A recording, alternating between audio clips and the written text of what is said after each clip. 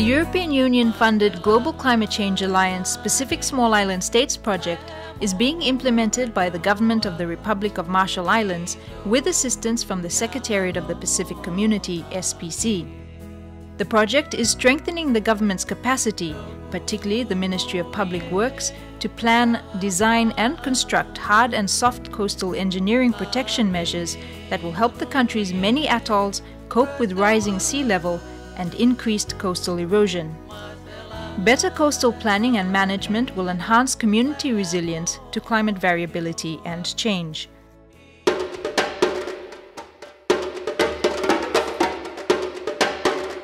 The Marshall Islands consist of 29 atolls comprising around 1,225 low-lying islands. Most of these are less than 3 meters above sea level. This makes the islands highly susceptible to increased erosion and inundation, risks that are anticipated to increase as a result of climate change and climate variability. Some communities are already facing land loss, such that roads and homes are frequently damaged by floodwaters and are becoming unusable. Economic losses include damage to crops and infrastructure. Cultural losses include damage to cemeteries and historical sites. In October 2010, the government endorsed the RMI Climate Change Roadmap the Ministry of Public Works identified nine priority projects involving infrastructure improvements to roads, causeways, and airstrips on six atolls, costing 81 million US dollars. The government of RMI selected the Woja Road and Causeway project as the focus for the Global Climate Change Alliance Pacific Small Island States project. Woja is one island in Ailinglaplap Atoll, which has a total population of 1,700 people.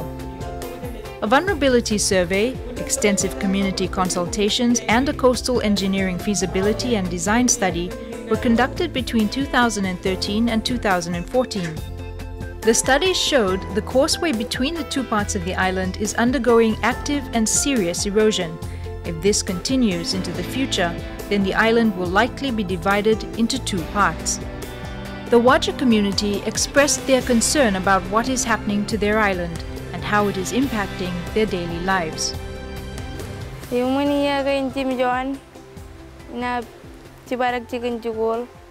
During the last seven years, it's been hard at times to get to school. I can't cross the causeway because of the high tide, so I have to wait for the tide to go down. When work on the causeway is completed, it will be better for us because I won't miss any classes or school days.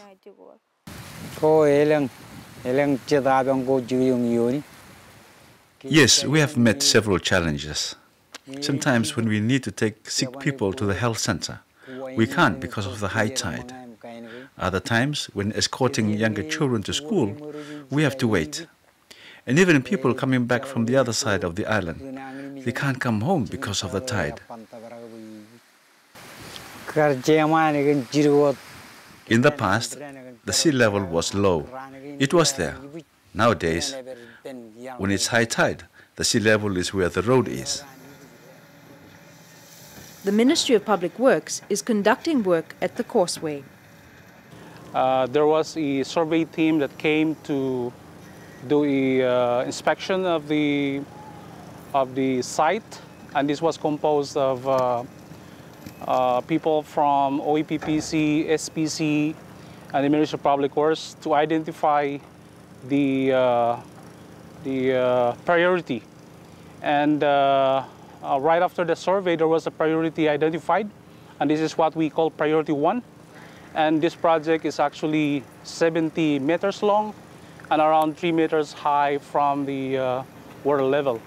So basically this project is to, to link again the two uh, islands that are currently inundated the, uh, the good thing with also with this project is that we will not be blasting anything, so we will not be importing any materials to build this causeway.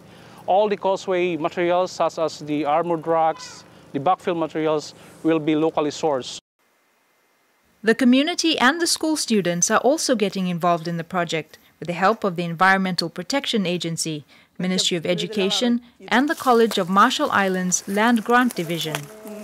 The community and the um, students have been collecting seedlings to, um, for replanting on the coastal areas and um, the purpose is due to know, rising seas, climate change that are, um, have been eroding the coastal areas.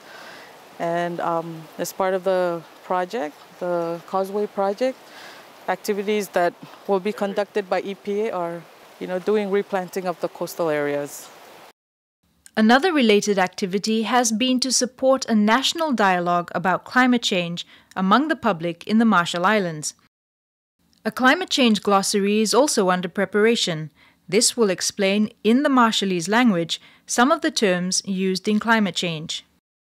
Basically, the idea of the, uh, the glossary came about because uh, during our consultations with the community, we wanted to ensure that everyone was on the same page and understood the terminologies used in climate change. Uh, we do hope that uh, through collaboration with our Ministry of Education, this will eventually be integrated into, our, into the school curriculum. The project has faced several challenges during its implementation. This involved several trips to the outer islands over several months to solicit landowners' approval and support. Acquiring consent and support has its challenges uh, with the complex land system in the RMI. This involves three tiers of chiefs and you need to acquire approval from each of, each of the three. The sparse and scattered nature of islands and atolls in the Marshall Islands makes communication and transportation to the outer islands very difficult.